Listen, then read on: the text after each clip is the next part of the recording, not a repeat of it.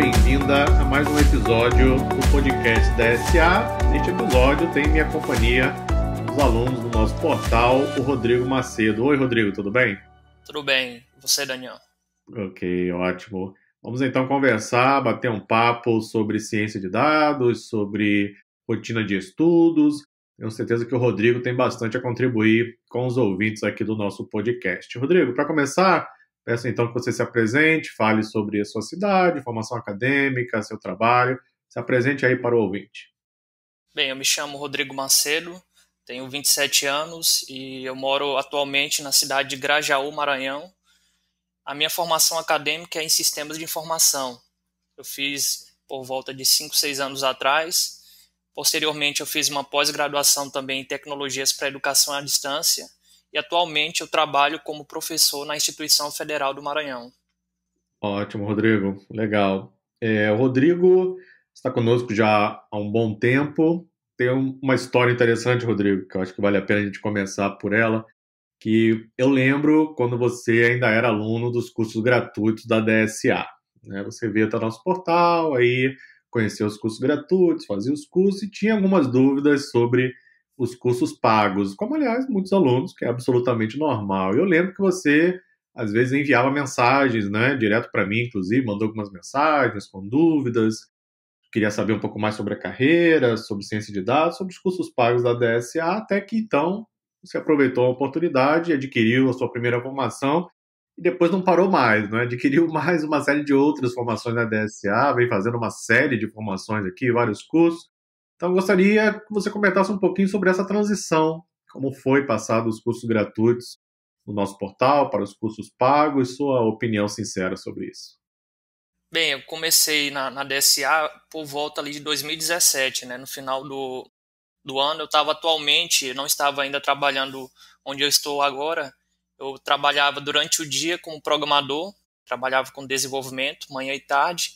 Durante a noite eu trabalhava em uma faculdade, né, lecionava aulas na mesma faculdade em que eu me formei, né? Eu me formei ali por volta de um ano e meio, dois anos depois eu estava lecionando naquela faculdade, né? Então eu estava com um ritmo bem bem grande, né, de trabalho, que até então eu não estava tão acostumado com isso, né? Porque durante o dia eu trabalhava apenas durante o dia, à noite eu tinha ela livre, só que agora trabalhava durante o dia e à noite, pelo menos de, segunda a quinta-feira, né, eu estava dando aula, né? Então era um ritmo muito corrido e eu percebi que levar esse ritmo, né, principalmente trabalhando em duas, duas áreas que eram tão distantes, não seria tão bom para mim, para o meu futuro, né? Então eu fui pesquisar algumas áreas que estavam em vigência, né, que estavam em crescimento naquele período, e eu vi que a área de ciência de dados era uma delas, né? Só que por conta do tempo, eu não tinha, eu não me sentia confortável naquele momento em adquirir uma formação de cientista de dados, né? E aí eu comecei então a me inscrever na plataforma, fiz os cursos gratuitos, né, o curso de Big Data Fundamentos e Introdução à, à Ciência de Dados, né, que foi o, o curso que, por mais que eu, eu vi ali que era 8 horas só de na carga horária dele, mas parece que tinha 20, 30 horas, né? Era um curso que eu tentava porque tentava fazer ele, mas parece que quanto mais eu fazia, mais estudava, cada vez mais distante ele ficava, né? Porque era um curso realmente bem denso, né? E aí, com esse curso, eu pude aferir a qualidade né, do, dos cursos da DSA.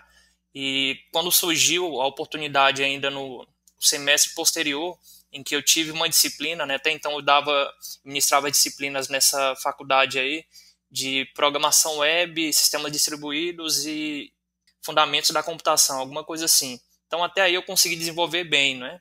Quando foi no, no semestre posterior, eu peguei uma disciplina com o nome processamento de imagem digital. E aí essa disciplina era uma disciplina que basicamente nenhum professor do curso queria pegar, porque realmente era bem complexa chegou essa demanda para mim, eu tive então que decidir ou pegava essa disciplina ou não pegava nenhuma, né? Foi basicamente dessa forma. E quando eu fui pesquisar então sobre material em português, eu encontrei o curso né, de processamento de imagem e visão computacional da DSA.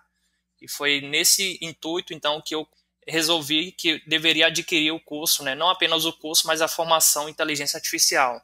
Quando eu tive a oportunidade então de passar no concurso né, e reduzir a minha carga horária de trabalho para ter mais tempo livre para estudar, foi a primeira formação que eu acabei adquirindo. Né? Eu adquiri a formação de inteligência artificial curso de Machine Learning, né, que era o curso pré-requisito, e também o curso de desenvolvimento de chatbots. Né? E aí, depois disso, foi só história. Né? Realmente, a cada curso que eu vinha fazendo, eu, eu vinha tendo uma, um ganho de conhecimento muito grande. Né? Fiquei, eu sofri bastante no início. Né? Eu costumo até associar a minha entrada aqui na plataforma da DSA como a minha entrada na, na universidade. Né? Quando eu entrei na faculdade, eu tinha por volta de 17 anos de idade. Então eu entrei muito cru, né? não tinha conhecimento praticamente nenhum.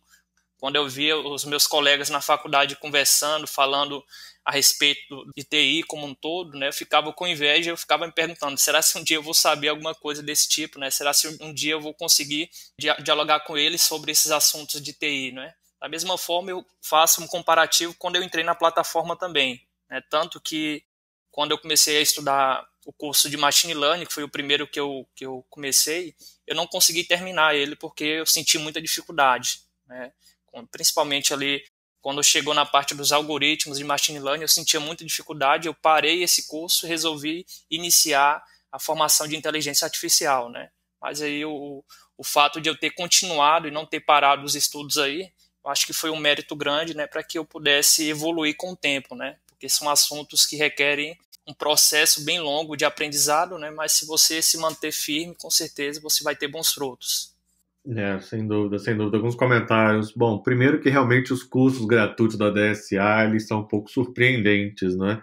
Muitos alunos olham para o termo gratuito, acham, ah, é só um cursinho, né? Vou lá rapidinho, eu faço, etc. E aí se surpreende quando vê a quantidade de conteúdo, de material que nós temos no curso gratuito. Mesmo os cursos teóricos, como Big Data Fundamentos e Introdução à Ciência de Dados, já tem uma quantidade imensa de material. E aí, quando entram nos cursos gratuitos, que são práticos, né, como curso de Python, curso de Power BI, aí as pessoas ficam impressionadas, né? A quantidade de material é realmente muito grande. Com relação à, sua formação aqui na DSA, é, a gente está sempre conversando, né? A gente veio sempre mantendo contato e é nítida a sua evolução, né? Muito clara daquele rapaz que veio alguns anos atrás, que ainda mal sabia o que era machine learning, para hoje já conseguir dominar os conceitos, né? Conhecer bem os problemas inerentes à criação de modelos de aprendizado de máquina, de inteligência artificial. É evidente a sua evolução ao longo do tempo, né? É curioso porque quando você ainda estava nos cursos gratuitos, você tinha muitas dúvidas, né? E às vezes, para nós na DSA, a gente, a gente entende que o nosso curso vai ajudar o aluno. A gente sabe disso, né? A gente tem essa convicção, porque os cursos são feitos para isso. Mas como falar isso para o aluno, né? Como transmitir isso? Não tem outro jeito, tem que ver com os próprios olhos, né? Então, por isso que a gente procura colocar os cursos gratuitos da forma mais completa possível, exatamente para que o aluno tenha uma dimensão daquilo que ele vai encontrar depois nos cursos pagos e aí então poder desenvolver o conhecimento e o aprendizado. Então foi bem legal acompanhar toda a sua evolução, que ainda está em andamento, né? Você continua aprendendo todos os dias, o que é bastante legal. Bom, e qual é a sua rotina de estudos hoje? Como você inclui os estudos aí no seu dia a dia? Qual horário que você prefere estudar? Quanto tempo? Fala um pouquinho para nós. Bem, atualmente eu estudo de duas a três horas por dia. Em 2018, elejo como o ano que eu mais estudei. Né? Na plataforma eu chegava a estudar 6, 7 horas por dia, né? que era no momento que eu estava ali realizando as formações que eu tenho, né? Formação em ciência de dados, inteligência artificial, engenharia de dados, entre outras, né? Atualmente eu estudo duas a três horas por dia, separando os estudos que a gente faz, né, para trabalhar na parte de, de, administração de aulas, né, que seria aonde eu ministro aula atualmente, e fora projetos também que a gente acaba pegando por fora, né? Então, eu acabo estudando duas a três horas por dia e, sobretudo, né, no ano passado, 2020, eu acabei focando um pouco mais os meus estudos na área de blockchain, né, por alguns motivos. É, eu acompanhei que recentemente, né, de alguns anos para cá, eu vi que o, a área de ciência de dados e engenharia de dados ela cresceu bastante. Né, e aí é um problema que professor tem, né, de, de fato, de que ele tem que ser, ter um perfil mais genérico, né, porque ele acaba ministrando aulas e disciplinas em talvez em áreas que talvez ele não tenha tanta proficiência e ele precisa então ter, manter esse equilíbrio, né, de ter um perfil mais genérico. Até por conta disso, também pelo fato da qualidade também da, do material da DSA, eu acabei adquirindo muitas formações aqui. o ponto negativo, né? Claro que o, o, as, os pontos positivos tem muitos, né? Porque você adquire um cabedal de conhecimento muito grande, né? Você tem a possibilidade de empreender em diversas áreas. O ponto negativo seria o fato de que você tem que definir uma área específica para que você possa trabalhar e se especializar naquela área, né? E no ano passado, 2020, eu vi uma oportunidade muito grande na área de blockchain.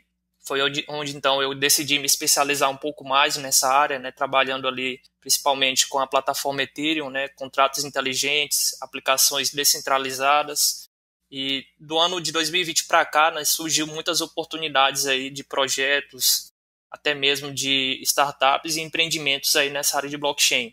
Então, por conta disso, né, eu tenho dedicado semanalmente aí os estudos atualmente nessa área de blockchain. Né? Não deixei de estudar data science, engenharia de dados, estatística e outras áreas afins, né? mas eu tenho me dedicado um pouco mais a blockchain porque notei, né, eu pude notar que das áreas que são oferecidas aí atualmente na DSA, talvez seja a área que esteja mais com potencial de evolução. Né? Isso porque até então a ciência de dados, a engenharia de dados, RPA e outras áreas teve um boom, um boom muito grande né, de alguns anos para cá. Já o blockchain ainda não. Eu acho que vai tem esse potencial bastante de crescimento e depende muito da demanda, né, e principalmente da material humano, porque não é um assunto fácil de ser estudado, não é um assunto fácil de ser desenvolvido também, sobretudo, né, porque envolve muita programação. Então eu tenho focado bastante aí nessa área de cerca de duas a três horas, separando aí as horas de trabalho, né, de estudo para trabalho estudo para projetos também. Ah, ok, ok. É, alguns comentários sobre isso. Bom, você normalmente escreve alguns artigos, né? Depois a gente vai colocar o link aí também junto com o podcast. Tem alguns artigos bem legais que o Rodrigo escreveu sobre blockchain recentemente, alguns tutoriais bem completos, por sinal. Depois a gente vai colocar o link aqui para que o ouvinte possa conferir também. Com relação aos seus comentários da evolução aí da ciência de dados, RPA, engenharia de dados e também blockchain, eu concordo plenamente com a sua visão. Quando nós começamos aqui na DSA em 2016, o Brasil ainda mal falava em ciência de dados e inteligência artificial. Eram assuntos ainda muito específicos, restritos a poucos grupos, não é? Agora, em 2021, não se fala de outra coisa, não é? Hoje, ciência de dados, engenharia de dados, até a própria RPA, automação robótica de processos, explodiram de uma forma impressionante no mercado. É, blockchain a gente também trouxe de forma pioneira aqui na, nas formações da DSA, temos a formação de engenheiro blockchain, e ao longo dos últimos anos a explosão não foi tão grande, né? Cada vez tem se falado mais sobre blockchain, mas a tecnologia ainda é difícil em comparação com a tecnologia que nós vemos em ciência de dados e engenharia de dados. Porque como essas áreas tiveram uma adesão muito grande, como resultado, a evolução é muito mais rápida, porque tem muita gente trabalhando em novas bibliotecas, novos processos, novas ferramentas, etc. Em blockchain, por ser uma área um pouco mais difícil, ela ainda é um nicho, não é? Então, os profissionais que percebem isso, eles vão ter aí aquela, aquela questão dos dois lados da moeda, né? A vantagem e desvantagem. Qual é a grande vantagem? É que ainda é uma área pioneira. Então, quem chega primeiro bebe água limpa, como eu digo em vários cursos, inclusive aqui na DSA. A desvantagem é que você não tem referência, não é? Você não sabe o que outras pessoas estão fazendo, porque ninguém está fazendo nada ainda. Né? Então você vai ter que iniciar uma nova área, um novo trabalho. Tem vantagens e desvantagens, como tudo na vida. Né? Cabe a cada um, claro, escolher. E durante suas rotinas de estudos ao longo dos últimos anos, quais foram suas maiores dificuldades, Rodrigo? Matemática, estatística, programação, negócios, nada disso, outra área. Quais foram suas maiores dificuldades? Bem, durante o início dos meus estudos, sem dúvida nenhuma, foi negócio né, área de negócio. Eu até estava lembrando é, alguns dias atrás que quando eu iniciei, né, eu falei que eu iniciei pelo, pelo curso de Machine Learning, e aí o primeiro capítulo de algoritmo de Machine Learning era o algoritmo de regressão linear. Tinha uma das aulas que, que você estava ensinando ali, e você deixava, dava uma mensagem de conforto aos alunos, né? Estava trabalhando ali na parte prática com algoritmo de regressão linear e você falava é, que era um assunto muito fácil, né, e que era só o começo, né, que esse capítulo, na verdade, era o capítulo mais fácil do curso. E aí eu me vi num momento em que eu sequer estava compreendendo aquele algoritmo de regressão linear que, segundo você era o, o, o assunto, o algoritmo mais fácil do curso, né? A grande questão não era que eu não estava compreendendo o algoritmo propriamente dito ou, ou, a contextualização matemática dele ou até a didática, mas enfim, o problema que eu estava naquele momento era que eu não conseguia ver uma aplicabilidade daquele algoritmo para um cenário real. Então, essa questão do negócio, né, o assunto de negócio para mim ela foi muito muito puxado inicialmente porque eu tenho uma pouca experiência, né? Eu fiz esse comparativo de assim quando eu, eu entrei na faculdade muito novo, sem experiência nenhuma, sem conhecimento de negócio nenhum, assim também eu entrei na DSA, não é? Mas por mais que tenha sido dificultoso o caminho, mas foi um caminho de cheio de oportunidades também. Como você sempre falou no, nos comentários e posts, né? O aprendizado ele está no caminho, né? Então não é quando se você entra com uma boa experiência de negócio, uma boa experiência em matemática, em programação, mas é quando você procura saber quais são as suas dificuldades e limitações e tenta desenvolver elas tanto quanto possível, né? Tem até uma, uma pequena história que eu gosto de fazer uma analogia sobre esse ponto, né? Que conta a história de um tio e um sobrinho, né? O tio chamou o sobrinho para fazer numa manhã convidá-lo para pescar e aí o sobrinho que não tinha conhecimento nenhum de pescaria foi com o tio para tentar aprender um pouco mais sobre essa técnica, né? E quando eles chegaram lá no local, se posicionaram, montaram todos os equipamentos, o tio então começou a realizar a pescaria, um determinado costume que o tio estava fazendo que estava deixando o sobrinho intrigado, né? Que era o seguinte, quando ele pescava um peixe grande, ele pegava e jogava no balde, que era para jogar fora, e quando ele pegava um peixe pequeno, ele pegava o peixe pequeno e deixava na sacola, que era para levar a sacola para sua casa, né?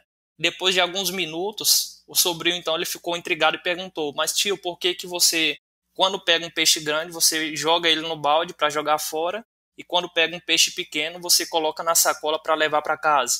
E aí então ele responde, né? Eu estou fazendo isso porque a frigideira que eu tenho em minha casa é bem pequena. Se eu pegar um peixe grande, o peixe não vai caber na frigideira. Por isso que eu só seleciono os peixes pequenos, né? Eu faço essa comparação, essa analogia no sentido de que quando nós sabemos ao certo, né, quais são as nossas limitações e dificuldades e e procuramos desenvolvê-las tanto quanto possível, nós deixamos de perder algumas oportunidades que seriam valiosas, né? Então, acima de tudo, hoje eu já vejo que talvez o negócio não seria tanto um gap grande para mim, mas eu, talvez seria os soft skills, né? Habilidades de confiança, por exemplo, resolução de problemas, desafios. Então, de vez em quando eu acabo me vendo um pouco fraco em relação aos desafios que se tem, né, e, nos primeiros problemas acabo desistindo de um projeto, por exemplo, né, então eu acho que hoje, com esses anos de estudos que eu tenho, né, talvez seja uma área que eu tenho que melhorar um pouco mais, né, essa área de soft skills que, na verdade, ela tem sido exigida cada vez mais pelas pessoas, né, o hard skill já é um pré-requisito, né, você já tem que ser bom no que faz, e o soft skill seria um diferencial que vai definir que tipo de profissional você vai ser na empresa, que tipo de profissional você vai ser enquanto consultor ou enquanto empreendedor também. Nossa, brilhante, Rodrigo, brilhante. Seu comentário sobre o pescador realmente ele resume é, muitas características que as pessoas precisam desenvolver. Esse seu comentário foi realmente muito bom, me fez pensar sobre uma série de coisas. Eu interajo com muitos alunos aqui na DSA, não é? Muitos alunos realmente enviam e-mails, mensagens nos fóruns, estou sempre conversando com diversos alunos, vejo também os comentários no suporte, embora eu já não atenda o suporte com tanta frequência, mas eu vejo também, estou sempre acompanhando o que está acontecendo. E é curioso porque muitas pessoas, isso é inerente do ser humano, né, de uma forma geral, acabam sempre colocando a culpa no próximo, né? Ah, eu não sou feliz, a culpa é do próximo. Ah, eu não tenho dinheiro, a culpa é do próximo. Ah, eu não aprendi isso, a culpa é do próximo. A culpa é sempre do próximo, não é? Dificilmente uma pessoa tem a humildade de olhar para dentro e verificar o tamanho da sua frigideira. Como você citou muito bem aí no comentário do pescador. Ou seja, a minha frigideira é suficiente para aquilo que eu quero fazer? É essa a questão, não é? Temos que realmente fazer essa pergunta, essa análise e ter a humildade de reconhecer nossos gaps, nossas deficiências, aquilo que precisamos melhorar. Nenhum ser humano é perfeito, nenhum sempre temos algo a melhorar, aprender, aperfeiçoar, buscar. E aí as pessoas estão sempre achando que ah, eu não aprendi porque o curso não me deu aquela opção. Ah, eu não consegui isso porque aquela pessoa não me ajudou. Ah, não é essa a abordagem, ou pelo menos não deveria ser, na minha opinião. A abordagem ideal é o seguinte: ah, o curso, qualquer curso, serve como guia. Ah, o meu companheiro, a minha companheira está aqui para que juntos possamos crescer. Ou seja, o livro que eu vou ler tem como objetivo desenvolver as minhas habilidades. E é curioso, porque muitas pessoas não têm essa percepção. Quando muitos alunos começam aqui nos cursos da DSA, eles chegam com uma percepção sobre o que é ciência de dados, vão caminhando pela formação e ao final a percepção, opa, quando acaba a formação, eu fico muito satisfeito quando eu vejo o aluno dizendo, agora eu vou começar. Porque o aluno não pode ter na cabeça aquela coisa de que, ah, aprendi a formação, fiz a formação, pronto, estou em condições de ir para o mercado. A formação, qualquer uma, qualquer curso, não só da DSA, isso vale para qualquer coisa, até para curso de pós-graduação, qualquer coisa, é na verdade um guia, não é? Algumas pessoas usam esse guia de forma melhor, outros de forma nem tão boa. O guia vai te mostrar o caminho, aonde você deve ir, o caminho que você deve seguir, mas no final das contas, cada um vai escolher como vai seguir o caminho, né? Então é muito interessante seu comentário, brilhante a sua percepção e a humildade, que realmente tem bastante a aprender. E como você ainda é bastante jovem, então provavelmente seu caminho aí vai ser de muito sucesso. Bom, e você participa de eventos ligados à ciência de dados, é, como você se mantém atualizado com as novidades do mercado? Você mora no Maranhão, não sei se no Maranhão tem muitos eventos ligados à ciência de dados, né? realmente eu, eu não sei. Fala um pouquinho para nós. Agora com a pandemia eu sei que tudo é um pouquinho mais difícil, né? Mas como temos a chance de trabalhar online, como você se mantém atualizado, participa de eventos, o que você tem feito? Bem, antes da pandemia eu participei de um evento, né, em 2019, um evento em blockchain, que foi um evento muito bom, e eu pude realmente extrair a vantagem né, dos eventos presenciais, que seria o network, né, ter contato com profissionais com diferentes nichos de negócio né, e com diferentes pensamentos também. Em 2020 eu estava programando né, participar de mais eventos. Aqui no Maranhão nós não temos praticamente qualquer tipo de evento nessa área de data science. Né? Tem talvez lá na capital, mas é uma vez ou outra. Não tem muita frequência nos eventos, né? Mas enfim, chegou a pandemia e foi uma oportunidade que eu tive de participar de alguns eventos online, né, por meio do YouTube. É, cresceu bastante também as pessoas que têm conhecimento de negócio fazendo vídeos, streams no YouTube. Então aproveitei bastante para ver esse tipo de conteúdo, né, que talvez sem a pandemia teria que me deslocar, né, que tem um, um custo aí bem elevado, mas que vale muito, vale muito a pena, né. Então aproveitei muito para ver alguns tutoriais, vídeos no YouTube, em algumas plataformas também, separado também fora da SA. Também eu gosto de extrair muito conhecimento lendo artigos, né? Eu gosto muito de escrever, mas eu gosto muito de ler também. Aí 2020, sobretudo, 2019, 2020 foi um ano de muita leitura também. Né? Eu tinha, quando eu estava morando numa, numa cidade diferente da que eu, eu moro atualmente, né? Então eu tinha toda semana que me deslocar em torno de quatro horas, quatro horas de trânsito da minha cidade até a cidade de trabalho, né? Eu ficava, eu via na segunda-feira e na sexta-feira eu voltava. Então a viagem durava em torno de três, quatro horas. Eu sempre estava com o livro na mão, um livro ou o Kindle, né, para estar lendo. E no ano de 2019 foi um ano que, para mim, eu considero um ano muito bom, de muito conhecimento, porque praticamente em cada semana eu acabava lendo, na verdade, dois a três livros, né, por semana. Foi um ano que eu cresci bastante, né, e eram livros de diferentes áreas, estatística, data science, sobretudo livros de desenvolvimento pessoal, desenvolvimento profissional também, conhecimento financeiro. Então foi um ano que eu consegui agregar muito valor para minha vida mesmo no que tange a negócio, né? Porque eu tive contato com outras áreas. Então eu gosto sempre de estar participando de eventos, seja online, né, presencial também. Gosto muito de ler também, ler artigos e ler livros também. Entendi, entendi. É, eu lembro que você comentava sobre a sua viagem, seu deslocamento da cidade onde você morava para outra, né? E é muito interessante. Eu também carrego comigo é, livros para onde eu vou. Na verdade, eu tenho Kindle, não é? E meu Kindle tem, nesse momento, 862 livros. Eu sou um ávido, voraz leitor. Eu leio muito. E eu sempre carrego o Kindle para onde eu vou, para onde eu vou. E qualquer oportunidade que eu tenho, ao invés de ficar zapeando, navegando na internet, etc., eu tô lá consumindo páginas do livro, né? A leitura para mim é um grande prazer, por sinal, e a quantidade de conhecimento que você adquire a partir de livros é muito muito grande, principalmente livros que fogem um pouquinho da sua área é, específica de trabalho. É claro que é importante você estar desenvolvendo conhecimento, estudar livros técnicos, etc. Claro, mas é, eu gosto muito de ler livros sobre neurociência, sobre autoconhecimento, sobre a compreensão do ser humano de um modo geral. Isso abre muito a mente. Então eu aproveito também as oportunidades que eu tenho, sempre carrego o Kindle comigo, tenho a vantagem da bateria durar bastante, né? Estamos fazendo aqui a propaganda gratuita do Kindle, mas aqui é muito bom mesmo, paciência, né?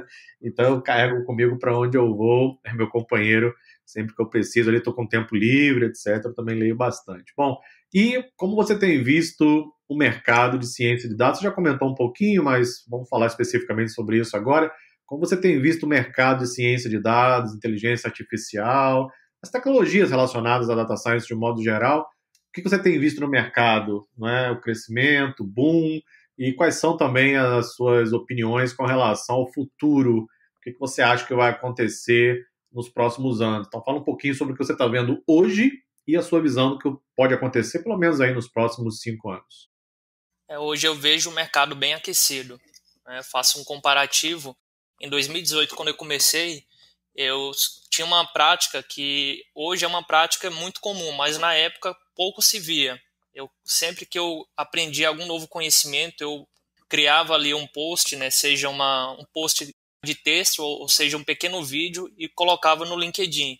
Esses posts ele chamava muito atenção, né, lá na época de 2018, porque pouco se viam pessoas que não que não estavam estudando, mas as que estavam estudando estavam mantinham apenas para si, né, não queriam publicar o conhecimento, compartilhar o conhecimento que estavam tendo. Fazendo um comparativo com hoje, né, 2021, hoje é o que mais se vê, né, quando eu entro no meu LinkedIn, eu, é o que eu mais vejo né, no meu LinkedIn, são postagens de pessoas compartilhando ali o, seu conhecimento, seja por meio de um projeto, por meio de um artigo, por meio de um vídeo. Alguns compartilham certificado também, mas eu vejo hoje o mercado bem aquecido, né, que era algo que em 2018 estava iniciando ainda, por conta da pandemia no ano passado, a evolução foi mais rápida né, para esse tipo de, de demanda e para esse tipo de mercado. Eu vejo hoje uma uma área que está bem consolidada e eu vejo também uma hoje o profissional que queira trabalhar com essa área ele tem que ter um perfil diferenciado, né? Ele não tem que ser apenas bom, assim, não tem que ser apenas bom tecnicamente, ele tem que ter outras habilidades, a habilidade mesmo do network hoje é mais do que importante, então ele tem que ser conhecido, é, hoje em dia não basta apenas você enviar currículo, né? você precisa de alguém que lhe indique, você precisa ser conhecido? Você precisa ter publicar artigos, ter o seu portfólio. Então, sem dúvida nenhuma, né, quando você se impõe nessa questão aí, as empresas vão atrás de você. Né? E isso é muito bom porque te deixa naquela posição de ativa, né? Ao invés de quando você envia currículo, envia currículo, currículo, currículo, acontece muitas das vezes que sequer talvez o, o recrutador leia o seu currículo, né? Você tem uma expectativa muito grande, mas na verdade acaba não dando certo uma oportunidade, né? Agora, quando você se coloca na, na, ativa, se coloca à frente, né, se torna conhecido naquele ramo, participa de podcast, participa de vídeos, é, faz tutoriais, artigos, você mantém um portfólio, com certeza você se coloca numa posição bem atraente, né, e as pessoas vão conhecer seu perfil. Isso é muito importante, né? E para o futuro, eu vejo que essa área ela vai se desenvolver cada vez mais, assim como a área de engenharia de dados também, que ela veio crescendo muito, né, de 2019 para cá, e talvez hoje seja uma área com mais demanda até do que a área de ciência de dados, até por, por conta de um podcast que anteriormente você falou muito bem, não é? Primeiramente, as pessoas que deveriam buscar engenheiro de dados buscaram a ciência de dados, depois viram que como não tinha infraestrutura suficiente, pessoas para configurar o pipeline de ponta a ponta, eles foram buscar o profissional que tinha que ter buscado no início, né, que era o engenheiro de dados. Eu vejo também uma procura muito grande para o arquiteto de dados, né, principalmente em vigência a LGPD. Em relação à RPA, automação de processo robótico, ela cresceu bastante, né, do último ano para cá, porque as empresas quiseram automatizar seus processos, que é algo mais barato, né, e é algo que veio para contribuir nos processos de negócio. E eu vejo o blockchain também né, nesse futuro, né, talvez crescendo um pouco mais também do que tem hoje, né.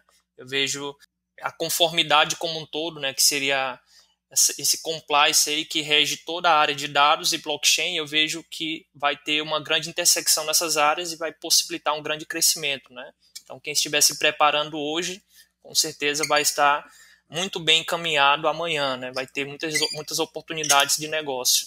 Concordo plenamente, Rodrigo. É, sua visão é muito clara sobre o mercado atual e sobre aquilo que vai acontecer nos próximos anos. A pandemia foi um grande acelerador digital Acho que ainda estamos no começo da evolução de algumas áreas, por mais que elas já estejam quentes, ainda acredito que seja o começo. O RPA é uma delas, acho que ainda vai ganhar muito mercado ao longo dos próximos anos. A ciência de dados ela já está estabelecida, agora é uma questão de amadurecimento das empresas em utilizar cada vez mais as tecnologias. Inteligência artificial já está entre nós, já é uma realidade. Cada vez mais aplicações vão surgindo, também uma questão de amadurecimento. E com relação aos profissionais, é, houve claramente uma inversão do mercado. Né? O mercado foi correndo para o cientista de dados. Né? E aí se deram conta que, não, peraí, eu preciso ainda dos dados, eu não tenho a matéria-prima, volta um pouquinho. E aí perceberam a importância do engenheiro de dados, que está explodindo agora no mercado. É um dos perfis que mais tem, é, tem sido buscados aí pelos recrutadores porque exatamente precisamos primeiro da matéria-prima, não é? Existe uma linha de produção natural em ciência de dados. E o próximo perfil, a próxima bola da vez, será o arquiteto de dados, com certeza, porque ele será o responsável por organizar toda a bagunça que engenheiros e cientistas de dados estão fazendo, não é? Porque estão usando as tecnologias, colocando tudo em produção, colocando tudo para executar, e o arquiteto de dados provavelmente vai chegar para organizar a casa, colocar ordem nas coisas. O engenheiro de machine learning também já é uma realidade, exemplo do cientista de dados também já é algo que se consolida no mercado. Veremos muitas evoluções ao longo dos próximos anos. Quem estiver preparado, provavelmente vai, vai poder aproveitar melhor as oportunidades. Rodrigo, foi um grande prazer conversar com você. Muito obrigado pela sua participação aqui no podcast da DSA. Prazer foi todo meu. Agradeço a oportunidade, Daniel e toda a equipe da DSA. Ok, muito obrigado. E assim concluímos mais um episódio do podcast da SA.